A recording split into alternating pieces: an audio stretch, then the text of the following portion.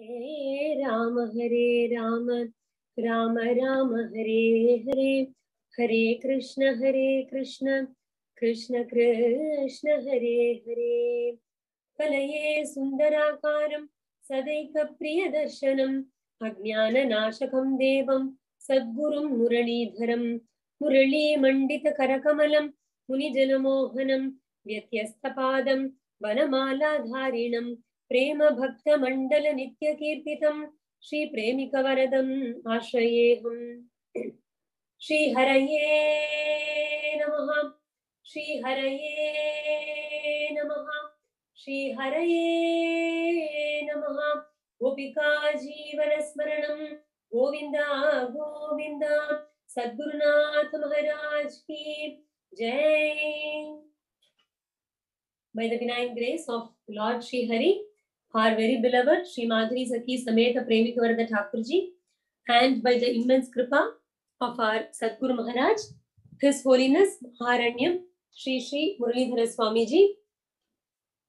In the last session that I had with all of you, the Kishora Bhagavatas, we started with how Suta Pauranika gives a reply to the questions of Shaunakadi Rishis. We saw in the first chapter, Shaunakadi Maharishis were assembled for a, a yaga, for a yaga in Naimisharanya, and they had invited Suta Pauranika to tell all the stories of all the Puranas and Itihasas. And they had put six questions, and the answer uh, to which was Srimad Bhagavatam. And uh, Suta Pauranika was very excited, is very excited to tell Bhagavatam. And uh, we saw the Dhyana shlokas that Suta Pauranika remembers or does a smarana of before starting his discourse, where he thinks of his guru, Sri Shukacharya, along with Sri Vyasacharya, who is the Grantha Karta, who is the one who actually composed this Srimad Bhagavatam. Right? And he starts right away by giving the answer. We already discussed the six questions. We already discussed uh, the six short answers. So I'm really hoping all of you remember. Someday we'll have a quick discussion uh, to recollect all that. But uh, today we'll go further. So we saw this particular shloka in the last class where the answer to the question of what should everyone do, what is the greatest duty of a man to attain the highest, no, the best, uh, the shreyas. So the answer is, he says, Savai Pumsam Paro Dharmaha Yato Bhakti Adokshaje. He says the highest duty of any Pumsam, Dharma is here duty, of anybody, any Jiva, man or woman is, they should have love for Bhagwan. They should have bhakti for Bhagwan. And how should that bhakti be? We said it should be ahaituki apratihata. Ahaituki means it has to be causeless and apratihata means that when it is causeless, it will obviously be without any kind of obstruction. Right? That bhakti will be seamless. And only when we have this kind of absolutely unconditional love for Bhagavan, it is the we should we should be doing only that duty which would give us this kind of bhakti at the feet of Bhagavan. So that's what we discussed. We discussed in detail about what is ahaituki, what is apratihata, and all. So next level he says, whatever dharma. See, first he said, whatever dharma that you follow, it should lead to love for Bhagwan. Right? Love for Bhagwan. That is the first thing he says. Now he says, Dharmaha swanushtita pumsam vishvaksena katasuyaha nodpadayet yadiratim shamayevahi kevalam. The second thing he says about dharma. First he said, whatever dharma you do, it should lead to bhakti. Then he says, whatever dharma you do, that should lead to developing love for listening to Bhagavad Katha.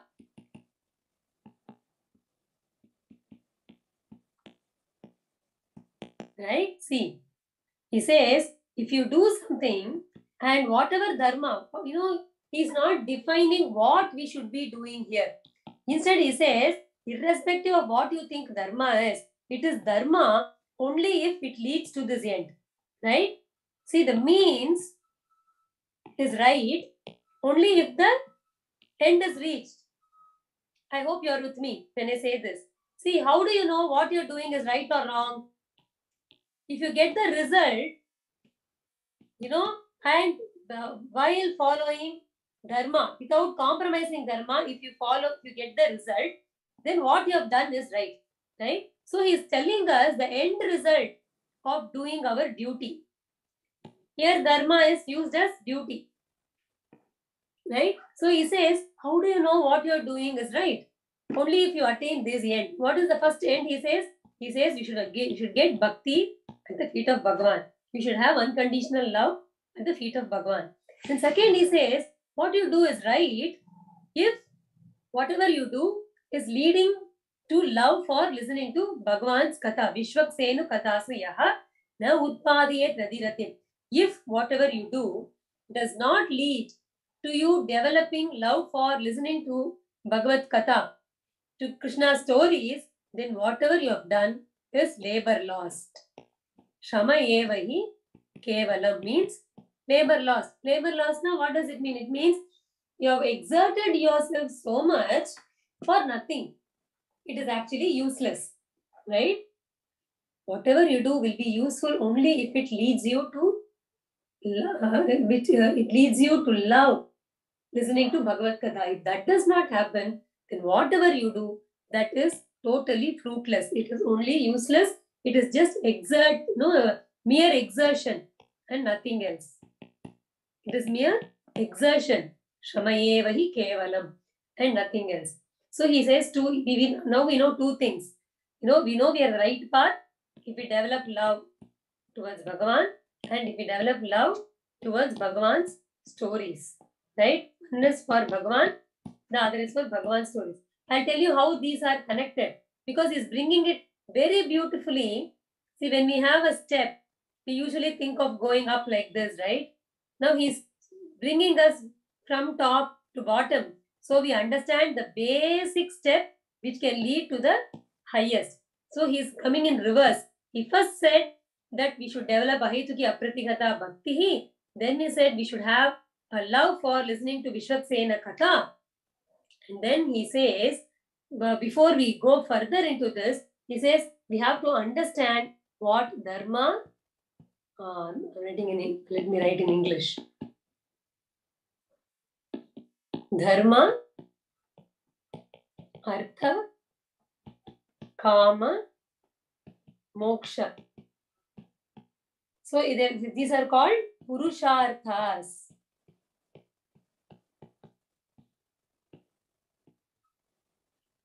What does Purushartha mean? See, these are the four things that uh, is worthy of pursuing. Okay, like uh, see, someone pursues uh, uh, some kind of career, right? But overall, for all the human beings, the most uh, these four are the broad categories which which cover what we say as the Purusharthas which means these are the things that are worth pursuing. One is dharma, the other is kama, uh, and of course we have artha, and then kama, and then we say moksha. Right? Now, see, usually we tell this in this order. Right? We always say dharma first, then we say artha, kama, moksha. So what people generally think, this is what people have, this is what people assume. They think if I follow dharma, I will become wealthy. What is artha? Artha is money, right? Money and uh, things related to that, possessions, etc. Right? Dharma is the righteous path, the righteous duty.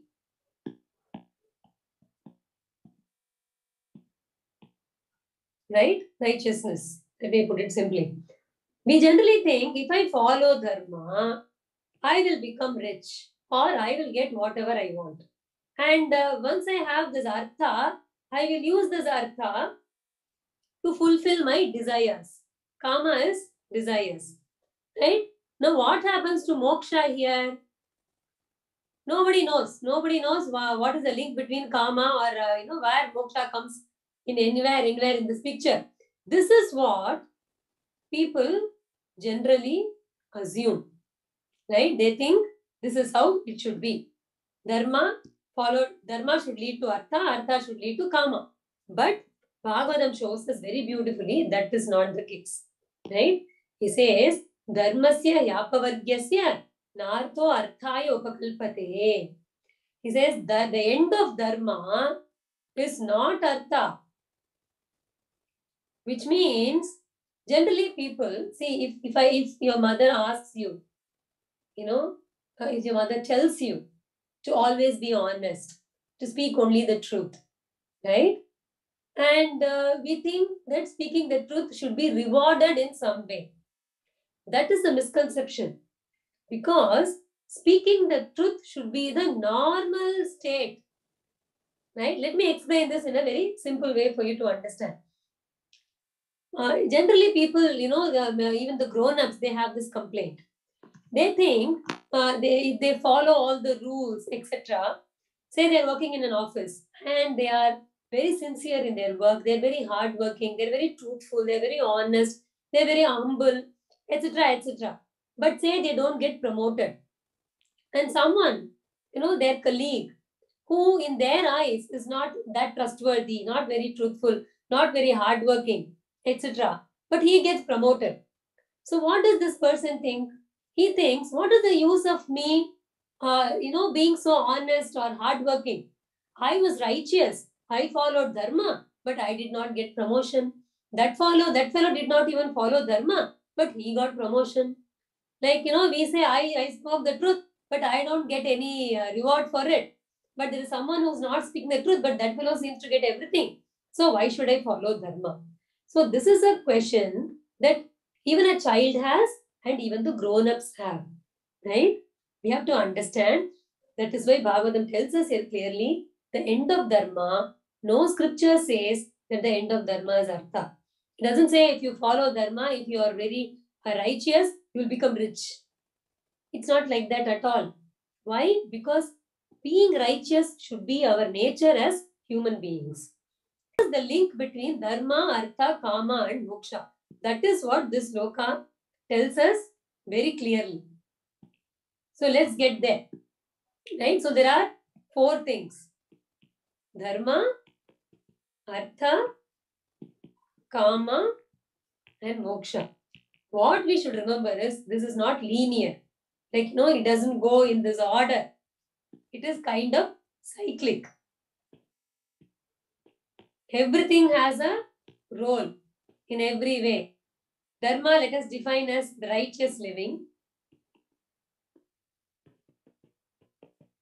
Right? Artha is, let's say, prosperity. Easier to understand. Kama is desire. And moksha is liberation. Right? Now, this shloka tells us how these are related. Right? So he says, Dharmasya apavargasya na artha na arthaya na artho arthaya upakalpade. Arthasya daima dharmaikantasya kamo labhaya hi sprudha. Adhe Mari, he's also telling that the end of Artha is also not Kama. And the end of Kama is not to enjoy all that we want to enjoy. That is not the end of Kama. What is the purpose of all these three? He says, Dharmasya Yapavargasya. The end of Dharma is actually moksha. Right? Why, do, why, why should we follow Dharma? Because it will ultimately lead us to moksha. Right? And what is what is the role of uh, artha here? We have to gain prosperity. We have to earn money or uh, earn possessions only by following dharma. So while accumulating artha, while accumulating wealth, we should accumulate it in a dharmic way. Okay? We should follow dharma when we accumulate wealth. And we should use that wealth to do dharma, to do the right things, to do dana, to do charity, etc. So this is again cyclic. You should use dharma to gain artha in the sense that Dharma, whose result is not Artha. You should follow Dharma and uh, we should only do things that are in line with Dharma and gain Artha out of it and use that Artha again for To do Dharma. Right? Like charity, etc. And what is the role of desire? Bhagavan himself has given us few basic desires like hunger and thirst. These are desires that everyone who's born will naturally have. The other desires could be different.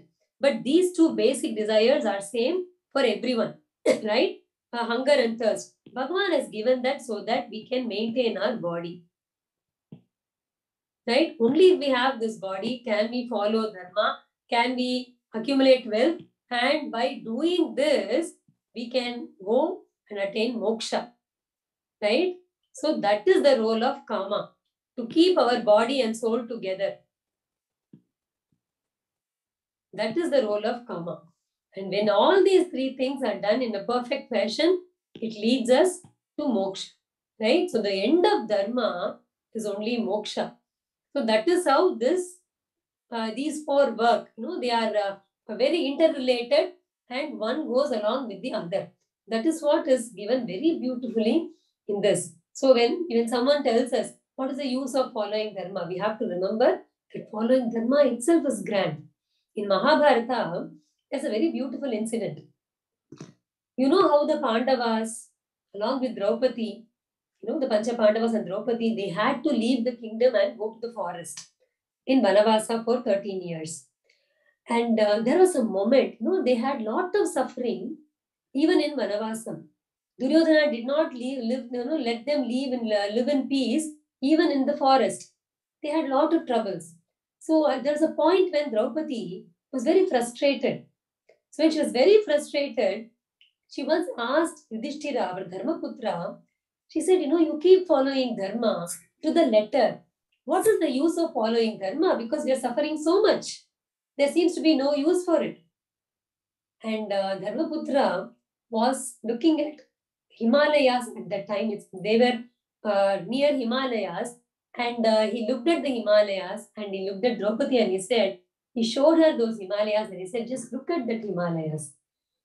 How grand it is. How magnificent it is. You know, just looking at the Himalayas gives us such peace and such joy. Is it not? But it is not doing anything. It is just there. That Himalayas is just there. Is it not? And just looking at it is giving, giving us that kind of joy. Dharma, he says, is like that. It is magnificent in itself. Right? And Guru, Guru Maharaj would beautifully use this word.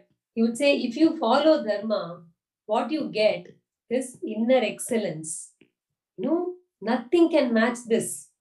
That is what we gain by following Dharma. And that sequence is beautifully given in Srimad Bhagavatam. Kayena vacha manasendriyaiva buddhyatmana va prakrite svabhavat karomi yatyat sakalam parasmai श्रीमन्नारायणायेति समर्पयामि हरे राम हरे राम राम राम हरे हरे हरे कृष्ण हरे कृष्ण कृष्ण कृष्ण हरे हरे हरे राम हरे राम राम राम हरे हरे हरे कृष्ण हरे कृष्ण कृष्ण कृष्ण, हरे हरे। गोपिका जीवन स्मरण, गोविंदा गोविंदा। सद्गुरुनाथ महाराज की जय।